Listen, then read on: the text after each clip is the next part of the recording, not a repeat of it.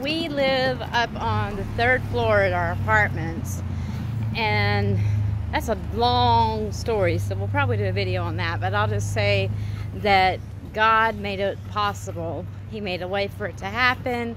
We had claimed in his name that we were going to live where, we where we live. We live like two minutes of a walk from our church so but we have to ride the elevator every time we go down and there have been times the elevator has been out and we've been stuck for a few hours, but luckily it's only gone out when we've been inside the house and not when we've been outside of our house because that would be a wreck, a natural disaster waiting to happen.